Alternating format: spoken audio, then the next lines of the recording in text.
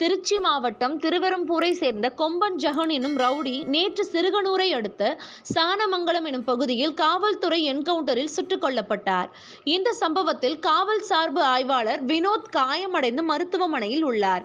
இரண்டு குண்டுகள் பாய்ந்து கொம்பன் ஜெகன் உயிரிழந்த நிலையில் அவர் உயிரிழந்த அந்த பகுதியில் நாட்டு துப்பாக்கி மற்றும் பெட்ரோல் குண்டு நாட்டு வெடிகுண்டு ஆகியவை கண்டெடுக்கப்பட்டுள்ளன. இது குறித்து திருச்சி மாவட்ட காவல் கண்காணிப்பாளர் வருண்குமார் செய்தியாளர்களை சந்தித்து விளக்கமளித்தார். அவர் கூறுகையில் திருச்சி மாவட்டம் சிறுகனூர் கிராமத்தை அடுத்து சாணமங்கலம் எனும் காட்டுப் பகுதியில் பன்றிகள் ஆடுகள் மேய்ப்பவர்கள் இருக்கிறார்கள். அவர்களிடம் இரவு நேரங்களில் சில மர்ம நபர்கள் துப்பாக்கி முனையில் ஆடுகளை கடத்தி வழிபறி செய்து வருவது தெரிந்துள்ளது. இதனால் காத்திருப்பு பட்டியலில் வைக்கப்பட்டிருந்த எஸ். ஐ. கருணாகரன் தலைமையில் தீபாவளி சமயத்தில் ஒரு சிறப்பு தனிமடை அமைக்கப்பட்டு காவல் சார்பு ஆய்வாளர் வினோத் உட்பட காவலர்கள் சாணமங்கலம் பகுதியில் சமூக விரோதிகளை கண்டறிய ரோந்து பணியில் ஈடுபட்டு வந்தனர்.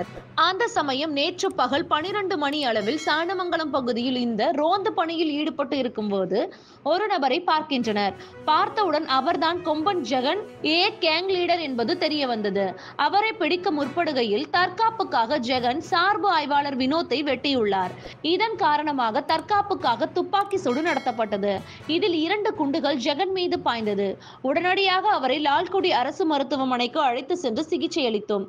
ஆனால் சிகிச்சை பலன் பலனின்றி ஜெகன் உயிரிழந்தார். பின்னர் அவரது உடல் திருச்சி அரசு மருத்துவமனைக்கு அனுப்பி வைக்கப்பட்டது. சார்பு ஆய்வாளர் வினோத் அரசு மருத்துவமனையில் சிகிச்சை பெற்று வருகிறார். ரவுடி கொம்பன் ஜெகன் மீது இதுவரை ஐம்பத்தி மூன்று வழக்குகள் நிலுவையில் உள்ளது. ஐந்து கொலை வழக்குகள் நான்கு கொலை முயற்சி வழக்குகள் உள்ளிட்ட பல்வேறு வழிப்பறி வழக்குகள் இருந்துள்ளது. ரவுடி கொம்பன் ஜெகனை பிடிக்க வேண்டும் என்ற நோக்கத்தில் காவல்துறையினர் செல்லவில்லை. தாடமங்கலம் பகுதியில் வழிப்பறி நடைபெறுவதாக வந்த தகவல் அடிப்படையில் ரோந்து பணியில் காவலர்கள் ஈடுபட்டிருந்தார்கள். அந்த சமயம்தான் ஜெகன் பிடிபட்டு உள்ளான். ஜெகன் சிறையில் இருந்த சமயத்திலும் வெளியில் இருந்த சமயத்திலும் பல்வேறு ரவுடிகளுடன் தொடர்பு கொண்டு பல்வேறு திட்டங்களை போட்டுள்ளான். பெரிய பெரிய ஆட்களை மிரட்டியுள்ளான் என தெரிகிறது. ஆனால் எங்களிடம் இதுவரை எந்த புகாரும் வரவில்லை என கொம்பன் ஜெகன் என்கவுண்டர் பற்றி மாவட்ட காவல் கண்காணிப்பாளர் வருண்குமார் செய்தியாளர்களிடம் தெரிவித்தார்.